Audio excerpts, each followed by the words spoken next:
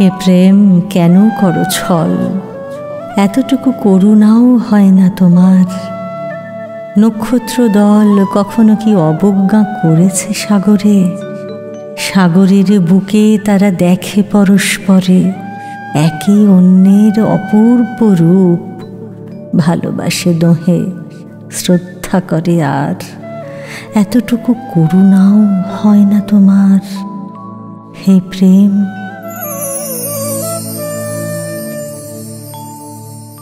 লিখেছেন কাশ্মীরের রাজা অমরু। পণ্ডিতেরা মনে করেন, এটি খ্রিস্টীয় অষ্টম থেকে নবম শতকের মধ্যে লেখা হয়েছে। প্রাচীন ভারতের কামকলা কাব্য হিসেবে রাজা অমরুর রচনাগুলি ইতিহাসে, সাহিত্যে, অলঙ্কারে আজও শ্রেষ্ঠ। তার শৃঙ্গার রসে বুঁদ হয়ে আছেন ভারত থেকে ইউরোপ জোড়া সকল ঐতিহাসিক, সাহিত্যিক। সব পণ্ডিত ব্যক্তিরা। কে এই রাজা অমরু? সাধারণ বিলাসী, বৈভবী, আত্মগর্বী রাজা যেমন হয়ে থাকেন, তেমনই এক রাজা এই অমরু। কিন্তু এমন ভোগী নরপতির এত সূক্ষ্ম কাব্য? হ্যাঁ বন্ধুরা, এমন নরপতিরই এমন সূক্ষ্ম কাব্য। রহস্য তো এখানেই। আর সেই রহস্যের নাম আচার্য শঙ্কর। আমি শাওলি। আপনারা শুনছেন অদ্বৈত বিজ্ঞানী শঙ্করাচার্যের জীবন ও তাঁর দর্শনের গবেষণা ভিত্তিক উপস্থাপনা অমৃতাং গামায়া। অমৃতম উভয় ভারতীর কাছ থেকে মাত্র এক মাসের সময় পেলেন শঙ্করাচার্য। তার মধ্যে দেবী উভয় ভারতীর সকল প্রশ্নের জবাব দিতে হবে তাকে। সেই জবাব খোঁজার জন্য আলাদা এক শরীরের প্রয়োজন তার, কিন্তু কোথায় পাবেন তিনি সেই শরীর? ভাবতে ভাবতেই সশিষ্য পথে নামলেন শঙ্করাচার্য। চিন্তা করতে করতে গহন জঙ্গলের পথে চলেছেন আচার্য শঙ্কর। সঙ্গে পদ্মপাদ সহ গুরুগত প্রাণ শিষ্যরা। ঘন অন্ধকার যেন ছেয়ে আছে সে বনের ভেতরে। এতই গভীর যে সূর্যের আলো ভালো করে ঢুকতেও পথ পায় না। পূর্বমুখ হয়ে চলেছেন সন্ন্যাসী দল। আচমকা শুনতে পেলেন গুঞ্জন। শোকের কান্না কানে এলো তাঁদের। কারা বিলাপ করে এখানে? দূর থেকে দেখা যাচ্ছে মা যেখানে শুয়ে এক রাজপুরুষ। চোখ বোঝা স্থির। তাকে ঘিরে বেশ কয়েকজন নারী, রানী হবেন তারা। আর অগণ্য, অমাত্য, পাত্র, মিত্র, সৈন্যও রয়েছে। অস্ফুটে বিলাপ করে চলেছেন সকলে। মারা গেছেন তাদের রাজা। অদূরে সাজানো হচ্ছে চিতা। দাহ কাজ হবে সেখানেই রাজার নাম অমরু। কাশ্মীরের রাজা। নানা আয়োজন করে এসেছিলেন মৃগয়ায়। আচমকা হৃদযন্ত্র স্তব্ধ। মৃত্যু হয়েছে তার। রাজপরিবার শোকে আকুল। আর দূরে দাঁড়িয়ে আচার্যের মুখে গভীর স্বস্তি। এই তো মিলল এক দেহ। শিষ্যদের শুধুলেন আচার্য শঙ্কর দেখো তো, আশেপাশে কোনো গুহা আছে কি না তরিতে নিঃশব্দ পায়ে এদিক ওদিক ছুটলেন শিষ্যেরা। পদ্মপাদ খুঁজে পেলেন এক গুহা। অন্ধকার, নিস্তব্ধ, গভীর। দেখতে এলেন গুরুদেব। আহা! এই তো ঠিক যেমনটি চেয়েছিলাম। এখানেই আমার দেহ রক্ষণাবেক্ষণ করো তোমরা। আগামী এক মাস কেউ যেন দেখতে না পায়।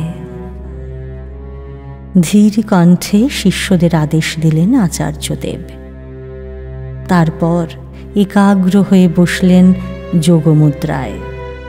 ক্রমে তার দেহ নিঃসার হয়ে গেল। ওদিকে চিতায় তোলার আগেই রাজা অমরুর শরীরে একটু একটু করে ফিরে এলো প্রাণের স্পন্দন। হঠাৎ যেমন শুয়ে পড়েছিলেন প্রাণহীন, উঠেও বসলেন তেমন হঠাৎই। পরকায়ে প্রবেশ করলেন আচার্য শঙ্কর। অবাক হচ্ছেন বন্ধুরা কিন্তু অসম্ভব নয়, এ এক যোগক্রিয়া।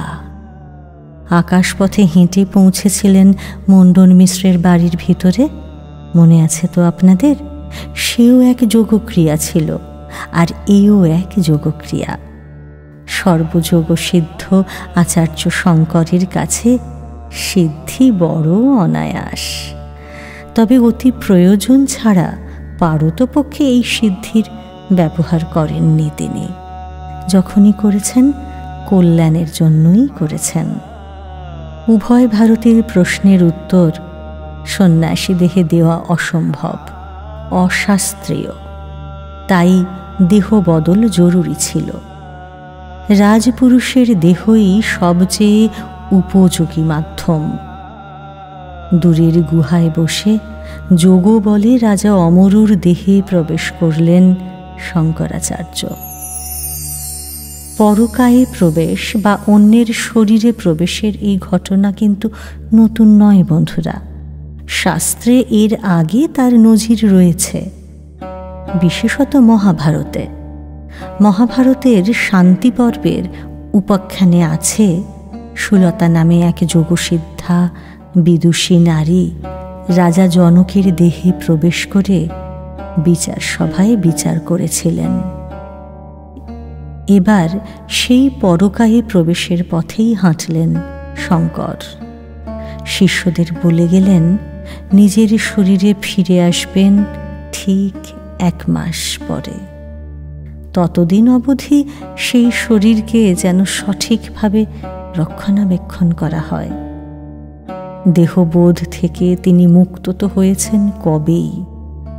দেহাতীত সত্তা হয়ে বিচরণ করতেন এতদিন।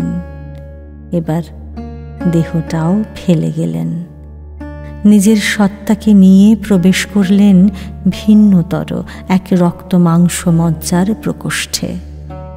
আচার্য শঙ্কর এবার রাজা অমরু। ধীরে ধীরে উঠে বসলেন রানী, পাত্র, মিত্র, অমাত্যদের মাঝখানে। বিস্ময়ে, আনন্দে, স্বস্তিতে তাঁরা তো তখন আহ্লাদিত বিয়োভল তাঁদের রাজামশাইকে নিয়ে মহা আড়ম্বরে ফিরে চললেন রাজ্যের অভিমুখে। এদিকে বনের মধ্যে নিঝুম গুহায় আচার্যের দেহ আগলে স্থির হয়ে বসে আছেন তার প্রাণপ্রিয় শিষ্যরা। এ এক নতুন পরীক্ষা তাঁদের। রাজ্যে ফিরলেন রাজা অমরু। সিংহাসনেও বসলেন। তবে রাজকার্যের থেকে তার শিক্ষায় মন বেশি। ব্যবহারেও কেমন যেন একটু ব্যত্যয় ঘটেছে। সন্দেহ দানা বাঁধতে শুরু করল অন্তঃপুরে। কি এত শিখছেন রাজা? ব্যবহারেই বা কি পরিবর্তন এলো? এক আশ্চর্য অজানা আখ্যান নিয়ে আবারও ফিরব বন্ধুরা। ফিরব আগামী পর্বে। আমি শাওলি। আপনারা শুনলেন যোগসিদ্ধ বেদ পুরুষ শঙ্করাচার্যের ঘটনাবহুল জীবন ও তাঁর দর্শনের গবেষণা ভিত্তিক উপস্থাপনা। গবেষণা ও রচনা করেছেন মহুয়া ব্যানার্জি, আবহে সত্যজিৎ সেন। এটি প্যাস্টেল এন্টারটেনমেন্টের একটি সশ্রদ্ধ নিবেদন। সঙ্গে থাকুন বন্ধুরা। শুনতে থাকুন अमृतं गमय